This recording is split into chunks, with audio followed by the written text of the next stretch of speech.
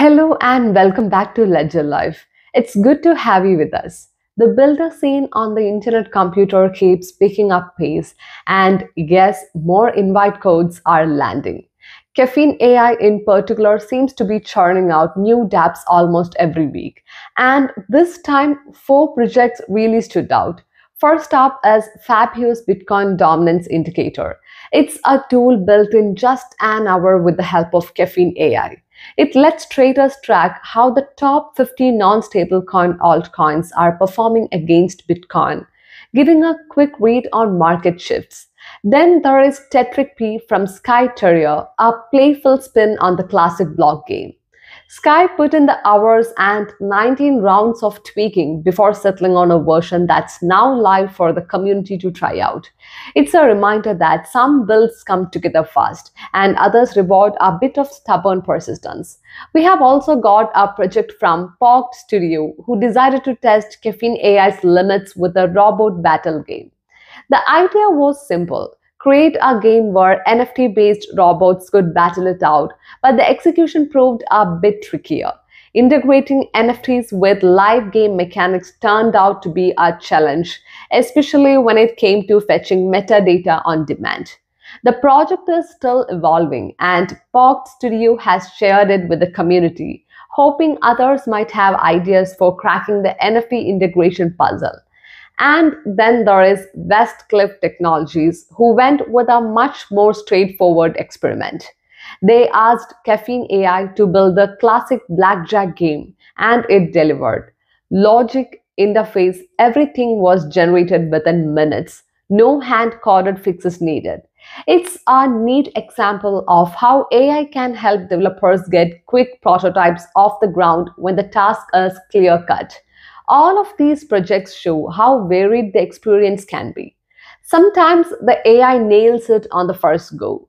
Other times you have to wrestle with it, tweaking prompts until you get what you want. Neither developer seems put off by the quirks though. If anything, it's become part of the creative process. They are building, sharing, and learning along the way, and that's what makes this phase quite exciting to watch. Now, moving on to a story that's been making the rounds this week and one that sparked a bit of debate.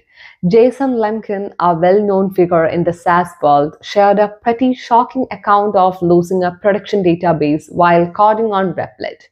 According to his post on X, Replit ignored code freezes, rewrote code pages, and then wiped out his production database all when the system was supposed to hold steady.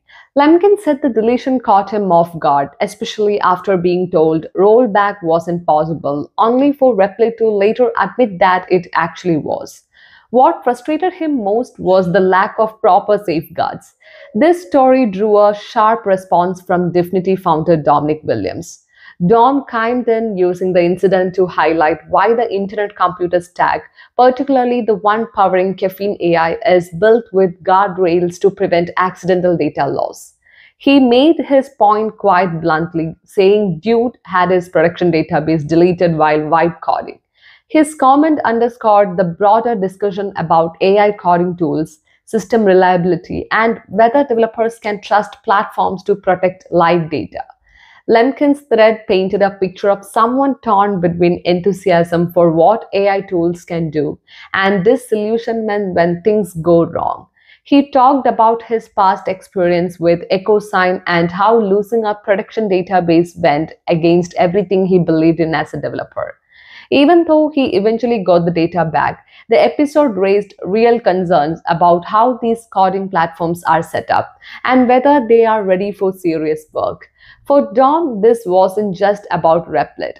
It was a chance to explain why Caffeine AI runs on the Internet Computer's technical stack, which claims to prevent this exact kind of problem. The conversation took off among developers, many of whom echoed the need for better protections when using AI assisted coding environments. This taps into a bigger question about the future of coding tools. As AI development platforms become more common, are they introducing new risk? Or do they offer the safety nets needed for modern app development? The debate isn't settled, but incidents like this are making developers think twice about where and how they build. Now to a bigger picture discussion. How does Caffeine AI's model compare with traditional software companies? The old software business model relied on building a product, selling licenses, and often locking users into a particular ecosystem. Companies invested heavily in marketing and sales to capture market share and then defended that turf through licensing agreements, patents, or proprietary tech. Caffeine AI and platforms like the Internet Computer are changing that dynamic. By making applications clonable, tweakable, and redeployable by anyone, they are flipping the script on software ownership. No single company can lock down an idea. If someone builds something great on caffeine, another developer can clone it, improve it, or spin off a new version.